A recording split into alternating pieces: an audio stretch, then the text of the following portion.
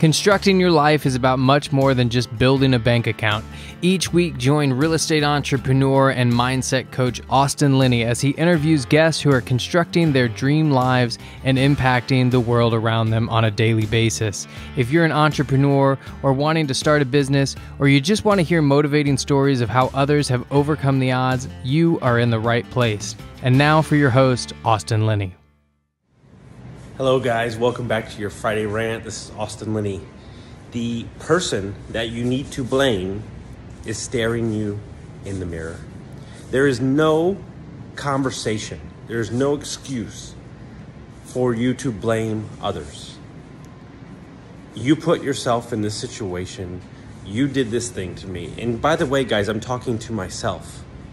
There are things in my personal life from my marriage that are still stuck in me deep rooted in me habits. 13 years of a marriage doesn't go away. So every day when I blame somebody else or I, I throw a fit or I act like a fucking 17 year old version of myself, the only person that I need to look into the mirror is talk to myself.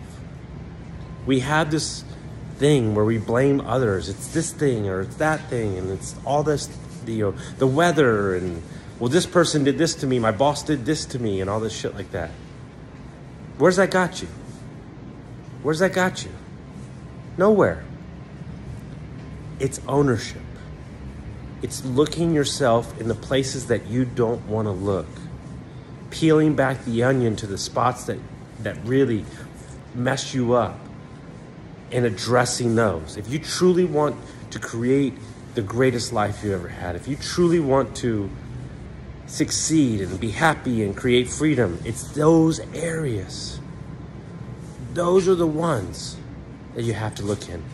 And the person that can has the answer to fix everything is staring in the fucking mirror.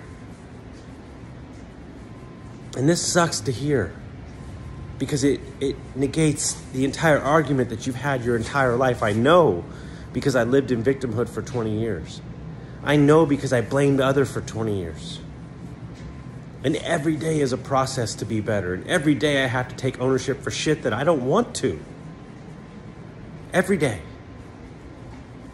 But unfortunately, if you want to grow and you want to succeed and you want to create the free life and you want to be the best spouse and you want to be the best husband, you have to look in those areas. You have to peel back the spots, look in the dark spots that you don't want to. So, my question to you is extremely simple Where are you not looking? Where are you not looking? Write that down, look there, fix it, you'll be better for it. Hope everyone got some value from this, and we'll see you next time.